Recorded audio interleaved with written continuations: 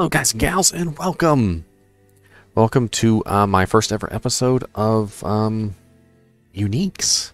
So, this particular episode, as you can see, uh, hopefully by the big graphic in the top left hand corner, um, is about unique rings and amulets. Um, now, of course, there are a lot of uniques in the game. There are unique boots, unique helmets, unique gloves. You know, there's there are unique belts, and, and but this particular episode is going to be about the rings and, and the amulets. Um, not only um, we're going to go over each individual ring and amulet, but we're also going to talk about where you can find them. Now, the first ring we're going to start out with is a very easy one. Um, it is probably one of the ones that people find the most, um, but also one of the ones that people throw away the most. Um, namely because of the magic find variance. So the Nagel ring can actually vary uh, between 15 and 30%. 30% would be a perfect Nagel ring. Um, and in general, um, the 30% rings are very sought after uh, because you can obviously equip two of them. Two of them is 60% magic find, and uh, you could tag that along with a, a gold dagger. And at level 7, you'd be rocking a 160% magic find with just those three items. Um, now, of course, perfect Nagels aren't that easy to come by, um, but Nagel rings are, and so you might have like a 29% or a 25% or whatever. Uh, most people have who have played Diablo for a while have found at least one or two Nagel rings, uh, probably more than that. And um, you know, just in general, a very nice ring for early on. Get you those um, those early level uniques, the rares and whatnot. That'll that'll make your self found build actually you know worthwhile. Um, the next ring on our list here is a ring that, um, rather ironically, um, is probably the frustration of um, many magic finders. Um, because when you are magic finding, um, you of course, a unique ring, when it drops, can be anything. It can be any of these unique rings. If you're killing like Hell Diablo or something and a unique ring drops, or you're killing Hell uh, Andariel and a unique ring drops, you know, it can be any of these rings but more often than not, it is a Manald Heal. Um, and don't get me wrong, a Manald Heal is actually a very nice ring, especially for low level. But um, it's not the ring that people want to see when they hit that identify scroll on the uh, on the ring. They want to see something much better. So, what makes the Manald Heal a good ring? Well, it's life. It's a mana steal early on, um, and it's also mana regeneration early on. So it's a 20% mana regeneration.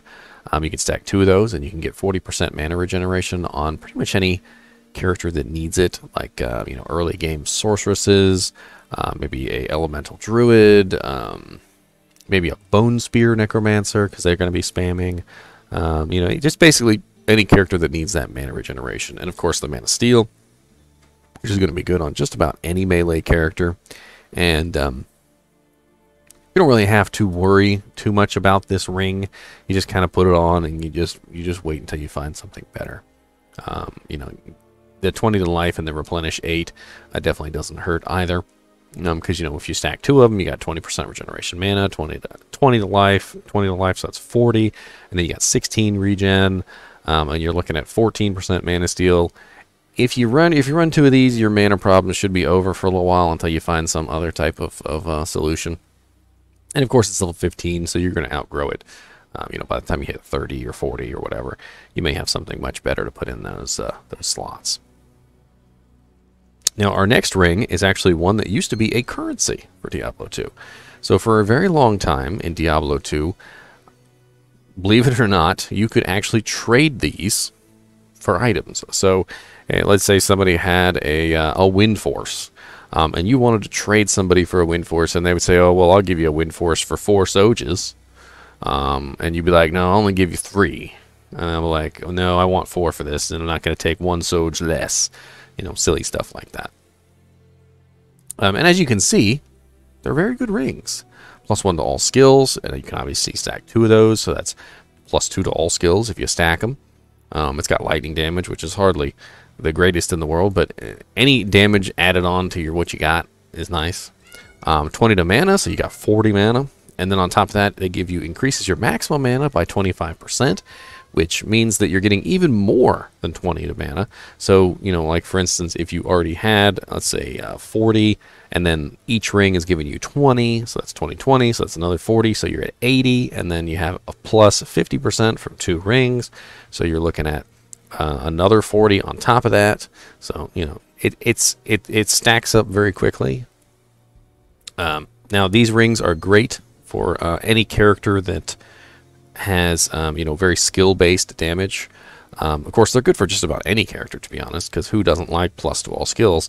But there are certain characters that get more of a benefit from Sojas than others. Um, I would say sorceresses, especially sorceresses that use um, Energy Shield, um, they're going to get a huge benefit in what is essentially hit points to them because that increase to maximum mana, and the mana is going to just balloon out their mana pool so that their energy shield is that much more awesome.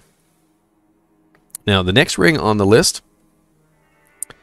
Um, actually, I forgot to talk about Manald Heal's um, variance. Um, it's not really that important, but Manald Heal has a pretty high variance on its mana steal. Um, so it goes from four to seven, so you can get a pretty crappy Manald Heal. Um, you know, if I had to choose between four percent mana steal and seven, I'm definitely going to choose seven. And um, it's not like a huge difference, but I would definitely say that a perfect Manald Heal is a little bit more interesting than one that has the the suckier stats, like the four percent mana steal and the uh, only five replenished life. Although the replenished life isn't really the the greatest thing in the world. Uh, variance on Stone Ring of Jordan, there actually is none. So the uh, Stone Ring of Jordan um, has no variance whatsoever on any of its its stats. So the next ring that we're going to talk about um, is the Dwarf Star Ring, which comes in at level 45. Um, so the Dwarf Star Ring actually has a pairing, um, and we'll talk about both of these together because why not? Uh, it's the Raven Frost ring. So the Dwarf Star and the Raven Frost are both level 45, and they both have a very specific um, focus.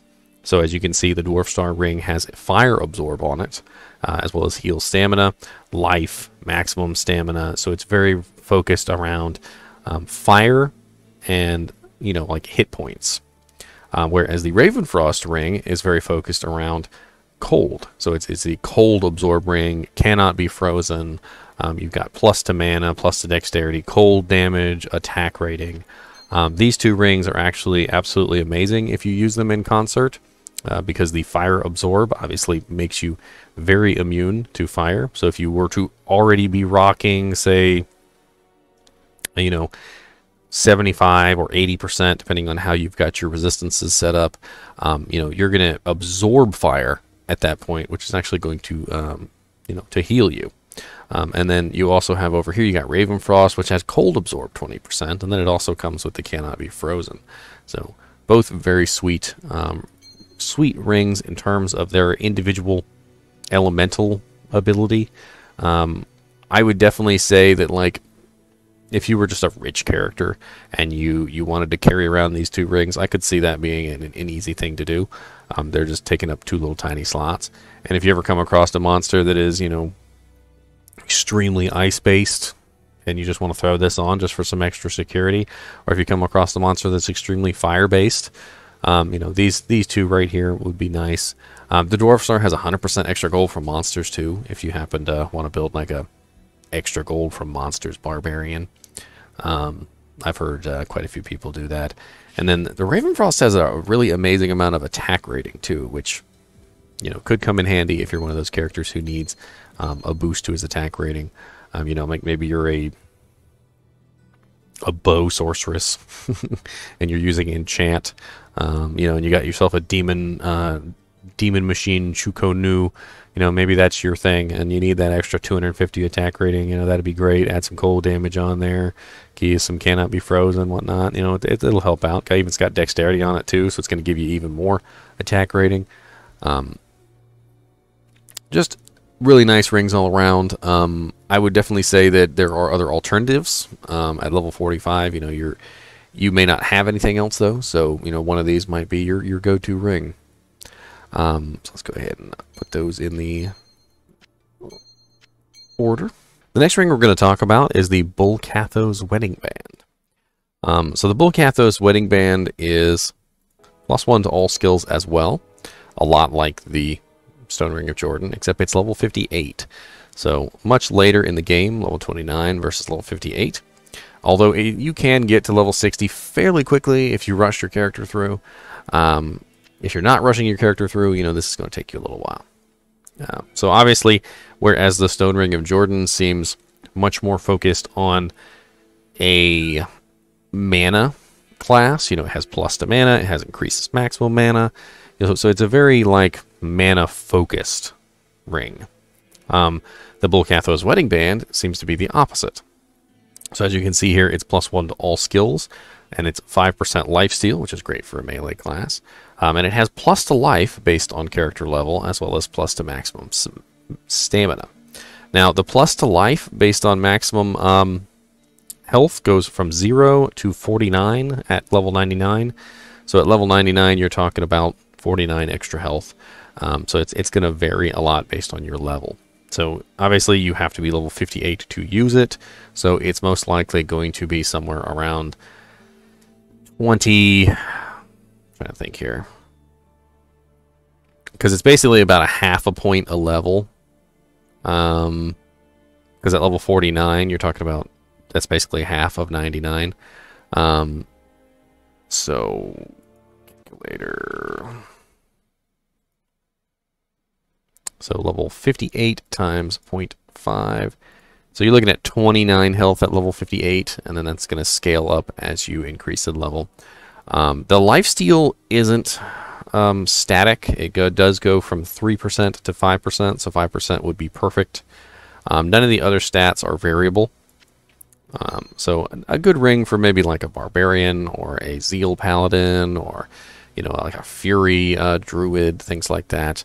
Um, anything that I mean, everybody loves plus all skills. Don't get me wrong, um, and people would rock Stone Ring of Jordans if that's all they had.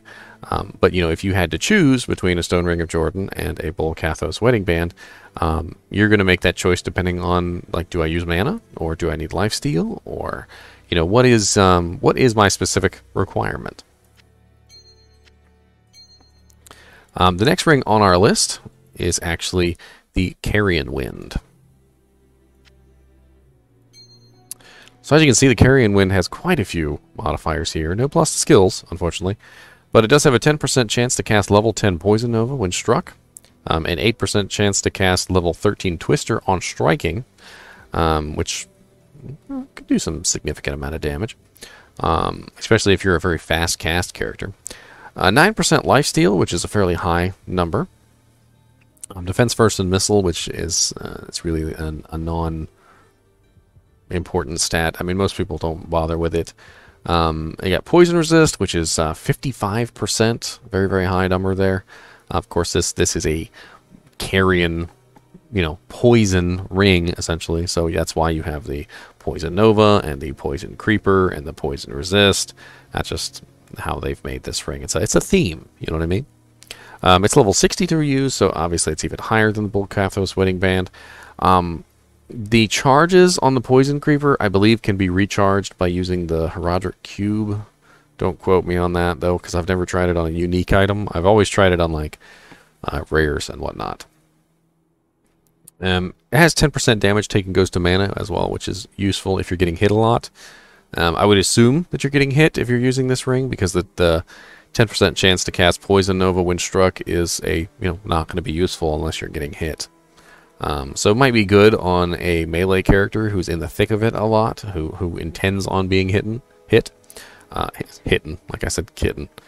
Uh, and you know, and then the nine percent lifesteal also implies a melee character. Um, so you know, just in general, maybe um, maybe a good ring for a rabies druid. That could be interesting. Uh, next on the list, we have Nature's Peace.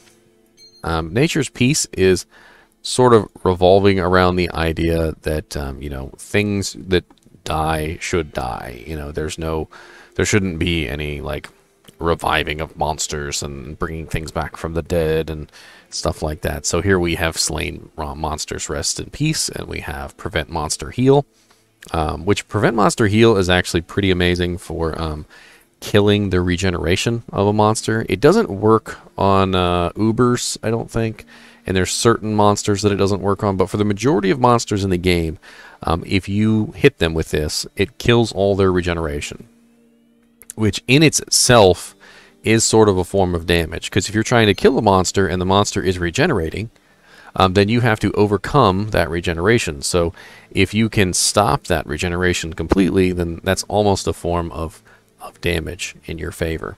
Um, and it has 30% poison resist, uh, damage reduced by 11, which isn't going to help you out a ton. Um, and then it has the level 5 Oak Sage charges, which Oak Sage is a uh, boost to your HP. Um, you know, you could use that um, if you plan on running an entire act. Obviously, I wouldn't use that if you were just doing Magic Find runs, hopping in and out of games. But he, but the Oak Sage will last quite a while as long as you don't, um, you know, like abandon it and get it killed. They don't fight or anything, and um, they tend to avoid combat, so you really have to try to get the Oak Sage killed. Um, and of course, this Nature's Peace is level 69. So as we go forward here, we're going higher and higher and higher on the list. Um, this is the last unique ring, and it is the highest level one at level 67. Or sorry, 76. I didn't read that backwards. Um, and it has 10% chance of casting level 16 lightning on striking. Uh, lightning absorb 20%. So this is sort of the um, sister ring to the dwarf star and the raven frost. As you see, we got the fire, and then we got the cold, and now we have the lightning version. Um, now, the Wisp Projector is much, much higher level, and it's probably going to be a little bit harder to find. So we have our 10% uh, chance to cast 16 lightning on striking, the lightning absorb. We've got better chance of magic items. And then on top of that, we got a whole bunch of little um, charges here. So we got level 7 Spirit of the Barbs, probably not going to be very useful ever. Um, you got level 5 Heart of the Wolverine, which could be useful to a melee class. And then level 2 Oak Sage isn't really going to give you that much HP, but it's something, I suppose. Um, and 15 charges of that. Uh, level 2 Oak Sage, uh, Sage, I think, is like 40% HP or 30% HP. I'm not, I'm not entirely sure on that one. So that pretty much covers our rings. And uh, now we're going to move into the amulets. So let me go ahead and uh, close out my my rings here so I can get to my amulets. And we're going to start with the lowest level amulet on the list, which is the Nozaken Relic. Um, there's a pretty good chance you'll find a Nozaken Relic at some point um, because it is such a, a low level item. And you'll notice that it has some very nice effects. 20% um, faster hit recovery is great for just about everybody. Um, it is just nasty when you get stuck in a hit recovery loop. And um, I just don't understand why you know you wouldn't want at least a little bit of hit recovery so that in those situations where you you you know you're getting hit by multiple monsters that you can actually get out of those situations because the hit recovery will help you with that because um, you know your character when you get hit your character's got to go Ugh, and then come back and then you can move again. Well if you're getting hit by multiple monsters you're like Ugh, Ugh, and you can't and you can't go anywhere. So hit recovery great.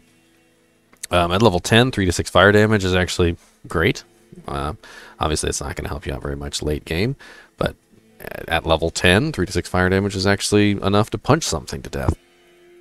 Um, and then we have our 10% maximum fire resist and fire resist 50%. So those two go in tandem.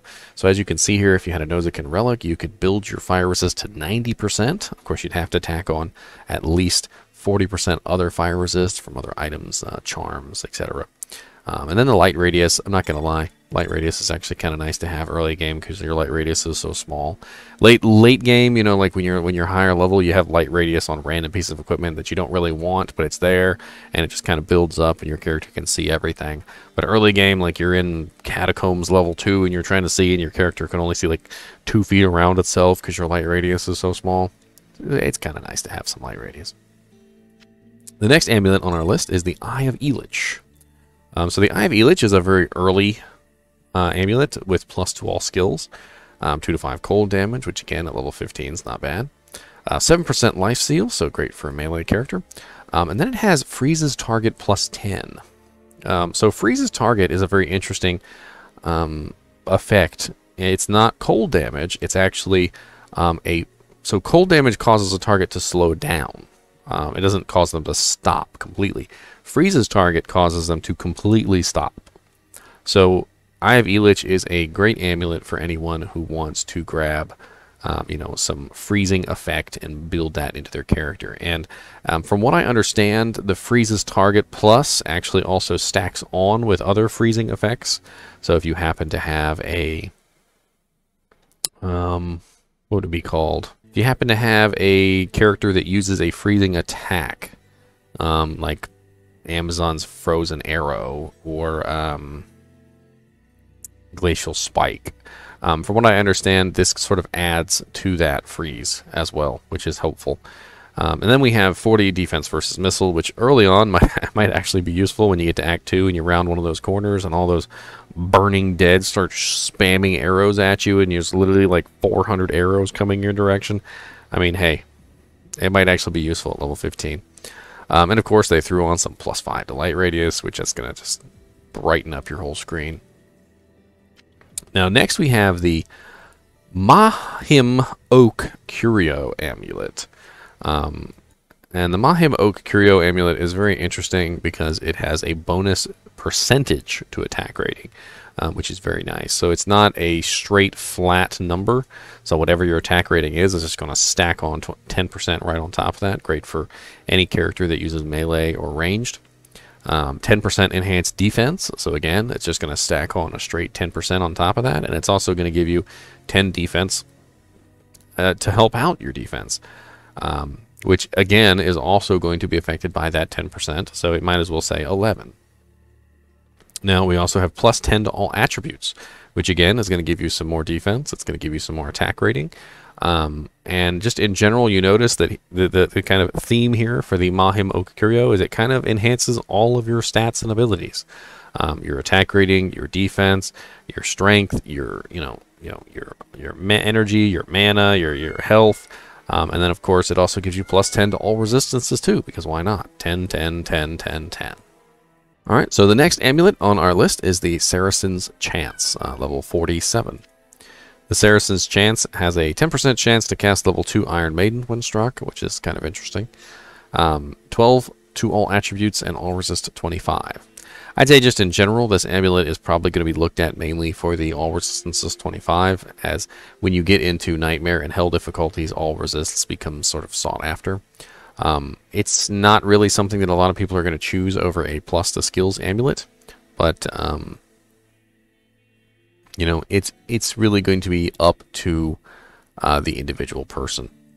Now, there is no, I forgot to say, there is no variance on the uh, Mahim Oak Curio.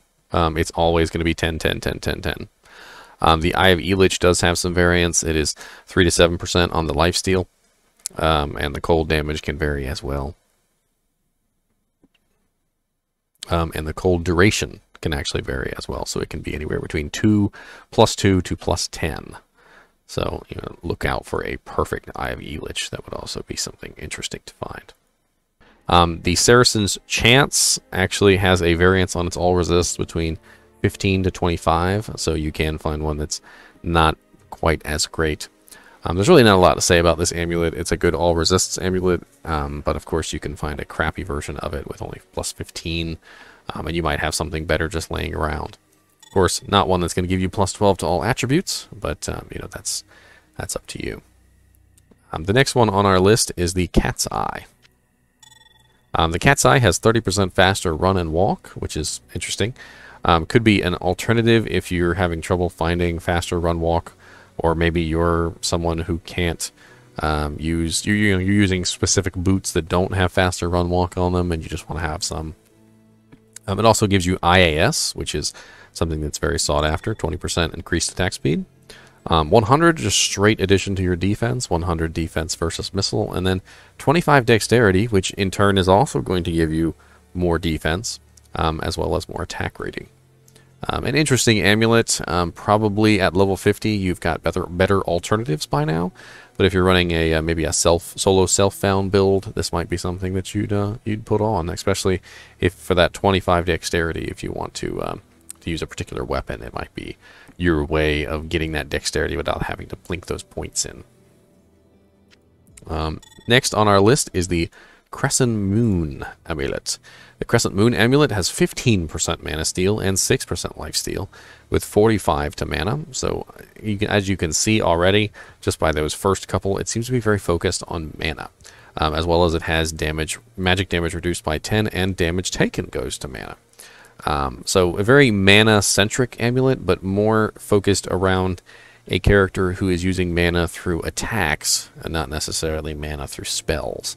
Um, so, you know, this might come in handy for someone like a Javazon um, or a, um, you know, a ha- no, not a Hammerdin, sorry. Um, a Vengeance Adin, perhaps. Um, someone who's someone who's spamming a skill that costs a lot of mana um, that's actually a melee attack. And of course, the damage taken goes to mana also infers that you're going to be hit. That's going to help your mana pool as well. I'm not sure exactly what character would have such an intensive mana requirement that would need 15% mana steal, 10% damage taken goes to mana, extra mana. Um, but I mean, it also has life steal in it too, so I guess that would free up one of your ring slots, or maybe be allowed you to use a weapon that doesn't have mana steal on it. So moving on to our next amulet, we have Atma's Scarab. Um, Atma's Scarab is level 60. Uh, actually, before we move on to that one, let me just double check real quick here. So the um, the mana variance on the Crescent Moon is 11 to 15 percent, um, and the lifesteal variance is three to six. Um, that those are the only two things on that that do vary. Um, and the variance on the cat's eye is nothing. So the cat's eye is always going to be 30, 20, 100, 125. Sorry, I don't know why I keep forgetting to uh, talk about the variances. So on Atma's Scarab, um, Atma's Scarab actually doesn't have any variance, by the way. And um, it has one of the most interesting effects, which is 5% chance to cast level 2 Amplify damage on striking. So Amplify damage, if you're unaware, is a Necromancer curse, and it gives double damage. So anything that is under the effect of amp damage is taking double damage from your attack. So if you're doing a thousand and he is amped, now he's taking two thousand. Um, very deadly ability and something that you can use with a lot of physical damage attacks, even attacks that might not necessarily seem um, like they would be able to take advantage of amplify damage. Um, so, for instance, this one in particular is 5% chance to cast level 2 amplify damage on striking. So you have to actually hit the target with a melee or a spell. I mean, no, sorry, a ranged attack. Melee or ranged attack. And of course, we've also got 20% bonus to attack rating, which again, kind of implies that it's for a melee character or a ranged character. Uh, 40 extra poison damage, which would be a nice tack on to uh, your melee and ranged attacks. 75% poison resist, which is ridiculous. Um, attacker takes damage of 5, which is kind of pointless. And they, they always throw on that light radius on there, which is always beautiful. Just, just I want to be able to see. Now, the next amulet on our list is the Rising Sun. Um, the Rising Sun is very focused around fire.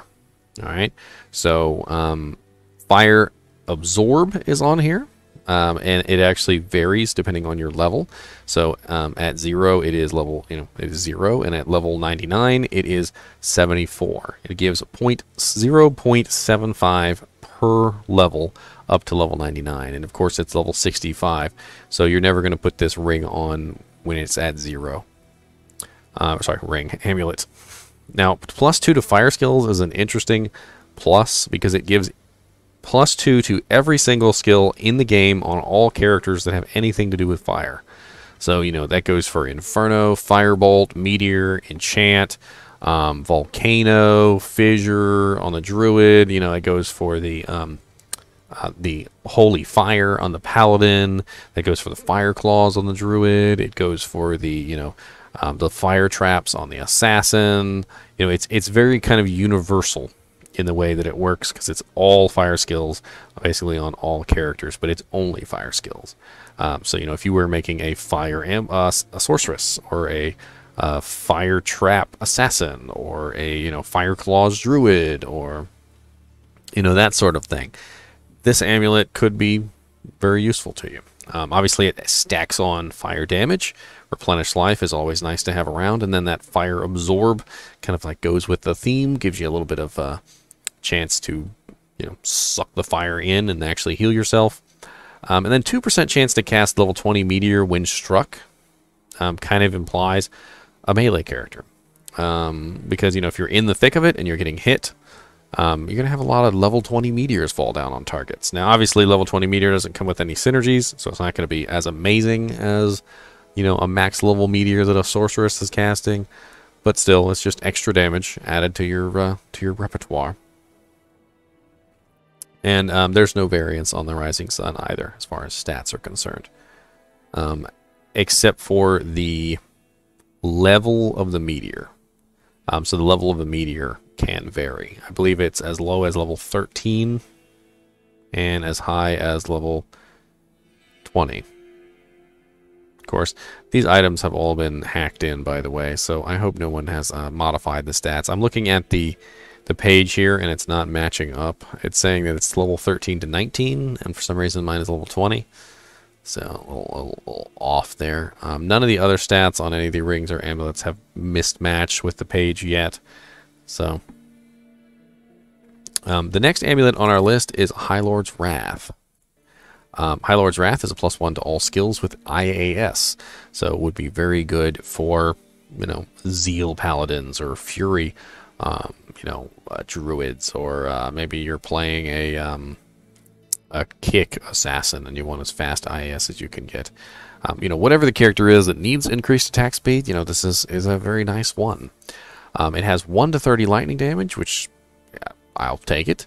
Um, lightning resist, which is amazing. Um, I'll take 35% lightning resist every single time. And uh, then we have Deadly Strike here. So Deadly Strike is a very interesting ability. Um, and Deadly Strike is essentially the ability to deal double damage. Um, it's a lot like Critical Strike, and uh, I believe they have separate rolls. I'm not 100% sure on that. Let's see here. Deadly Strike will not stack with Assassins, Barbarians, or Amazons' Critical Strike bonuses, although there is advantages to having both. When you have both Deadly Strike and Critical Strike, the game will roll for both bonuses first, and if that fails, the game will then roll for the other bonus, our first bonus and then the other. If the first bonus succeeds, the second will not roll, and if the second rolls, um, you will get two times, but never four times. So that's pretty cool.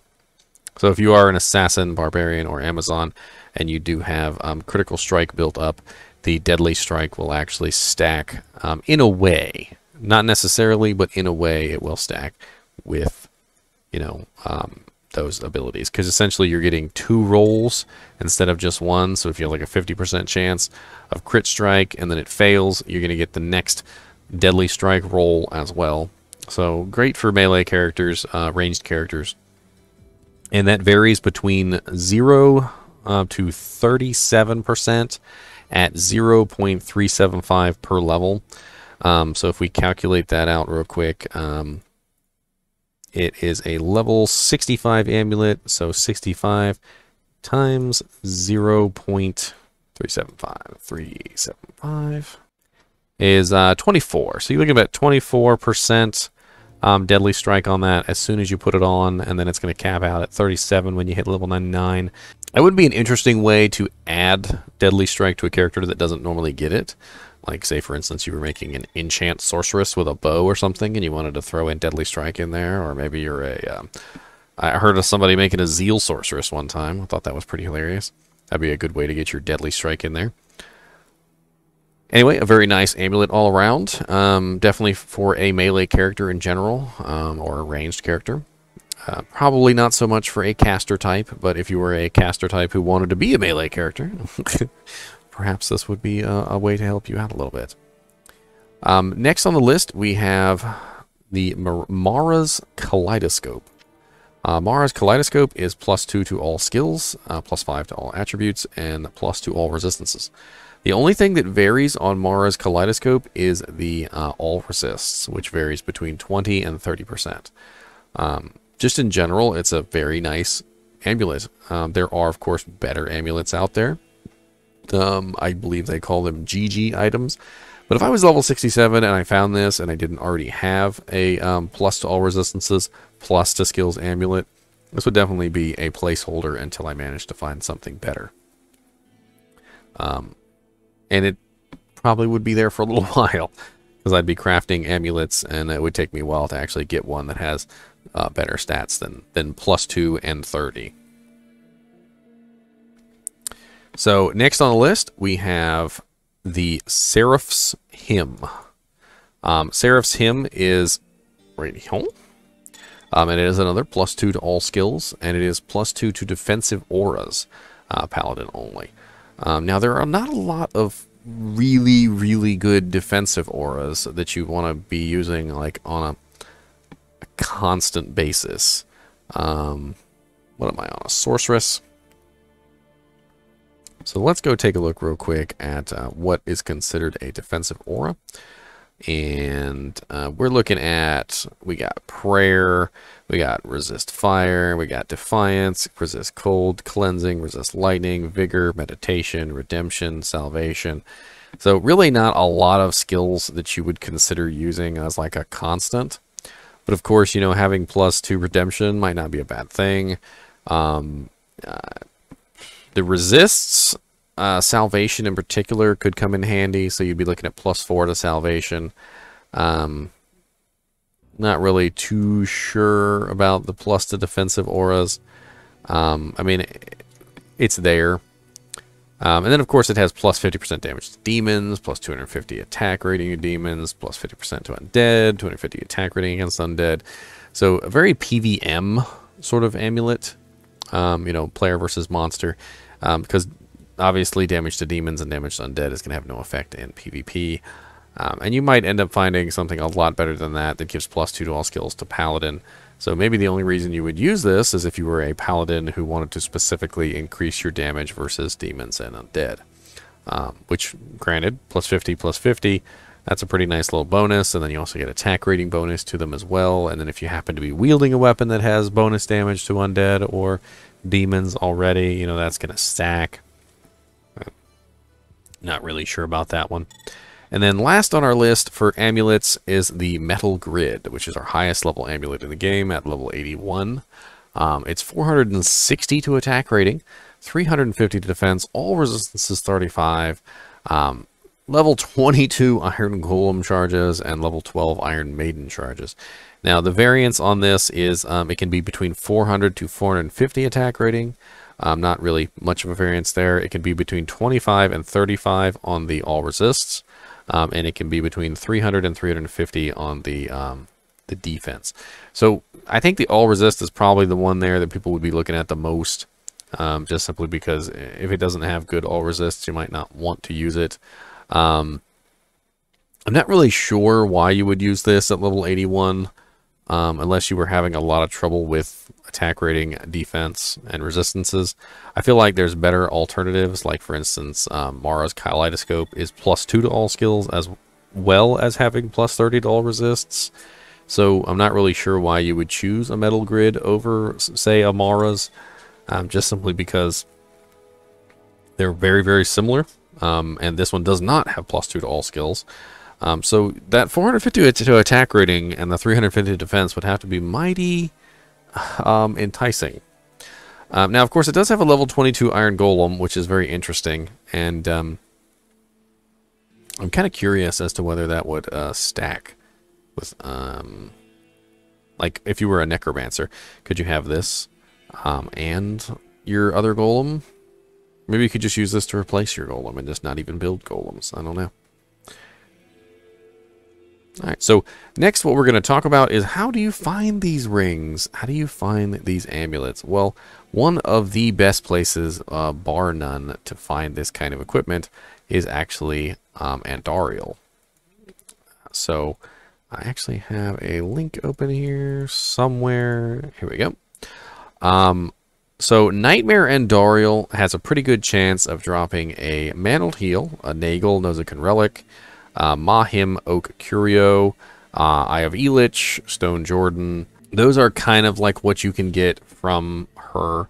Now, of course, you can get set set rings and set amulets as well, but for some reason, Andariel has a very high possibility of dropping rings and amulets. I think it's because, in particular, um, you know, when you're leaving Act 1, they kind of decided, I guess, that, you know, Andariel, um, you know, you, you probably don't have very good amulets and rings when you leave Act 1. It's it's one of the things that you don't find a lot of, and they're usually pretty crappy. So I guess they decided that you know, hey, Andariel should drop rings and amulets, which which is what she does. Um, now, in Hell, um, Hell Andariel can drop Manald Heal, Nagel, Gheed's Fortune, which that's actually the Gheed's Fortune's not a ring. No, Gheed's Fortune is is the charm. Well, it's good to know that uh, Andariel can drop the charm. Um, Dwarf Star, Ravenfrost, Nozikin Relic, Mahim-Oak Curio, Carrion Wind, Atma Scarab, Crescent Moon, Highlord's Wrath, Saracen's Chance, um, The Cat's Eye, Eye of Etlich, The Rising Sun, Seraphin's Hymn, Bul-Kathos' Wedding Band, Stone Jordan. Um, so, you know, in general, you can get a large majority of the rings and amulets from Andariel. Um, Hell Andariel and Nightmare Andariel. Obviously, Nightmare Andariel is going to give you less but um, Hell Andariel is going to give you quite a large number of those.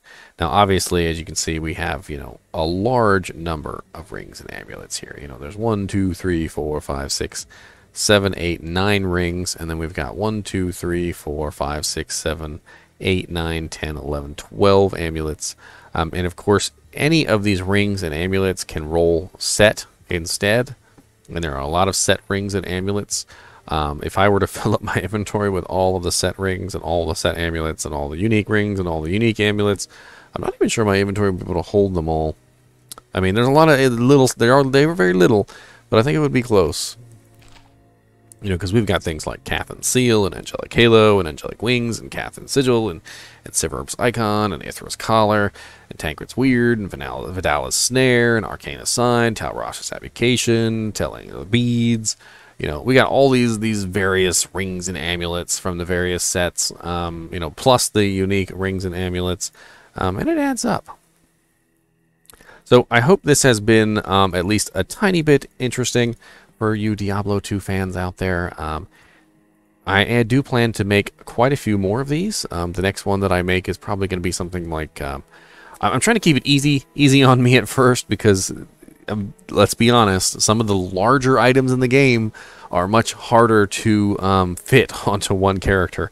In fact, there are quite a few categories which um, I am not going to be able to, you know, keep all together. They're going to have to be on multiple characters. Um, like, you know, for instance, two-handed swords. So my next one is probably going to be something like um, unique boots or unique gloves or unique uh, belts. Um, and we'll go over um, each different category of uniques um, until we come to a, a, close. Anyway, I hope you enjoyed this episode of um, Unique Items. And, uh, and thanks for watching.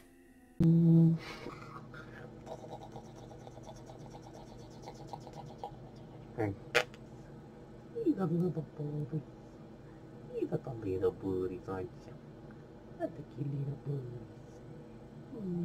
booties.